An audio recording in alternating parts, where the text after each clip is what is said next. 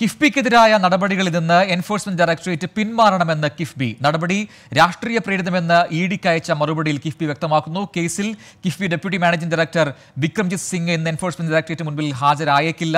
സഹിൻ ആന്റണി നൽകും കൂടുതൽ വിവരങ്ങൾ കൊച്ചിയിൽ നിന്നും. സഹിൻ കിഫ്ബി ഉദ്യോഗസ്ഥർ ചോദ്യം ചെയ്യലിന് ഹാജരാകില്ല എന്നതിൽ വ്യക്തത വന്നിട്ടുണ്ടോ? ഏറ്റവും പുതിയ വിവരങ്ങൾ എന്താണ്?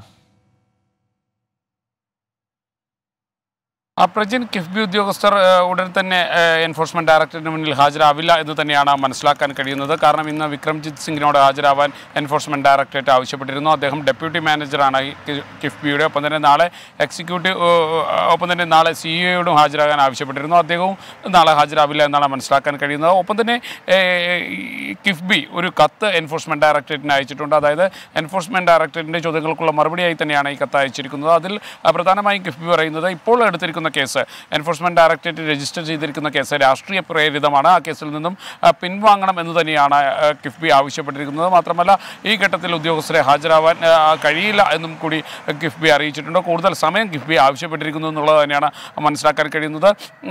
നേരത്തെ മുഖ്യമന്ത്രി അടക്കം എൻഫോഴ്സ്മെന്റ് ഡയറക്ടറേറ്റിനെതിരെ വലിയ വിമർശനവുമായി രംഗത്ത് വന്നിരുന്നു. മാത്രമല്ല ധനകാര്യമന്ത്രിയും ഇത്തരത്തിലുള്ള വിമർശനം എൻഫോഴ്സ്മെന്റ് ഡയറക്ടറേറ്റിനെതിരെ മുന്നോട്ട് വെച്ചു. ഈ സാഹചര്യത്തിൽ തന്നെയാണ് ഇപ്പോൾ കിഫ്ബി ഇത്തരത്തിലുള്ള ഒരു മറുപടി കത്ത് എൻഫോഴ്സ്മെന്റ് ഡയറക്ടറേറ്റിന് അയച്ചിരിക്കുന്നത്. എന്തായാലും ഇന്നും നാളെയുമായിട്ട് ഉദ്യോഗസ്ഥർ ഹാജരാവില്ല എന്ന് തന്നെയാണ് അറിയാൻ കഴിയുന്നത് പ്രജിൻ.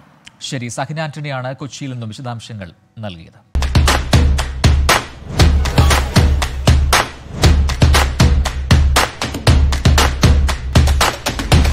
Number 1 election channel 24.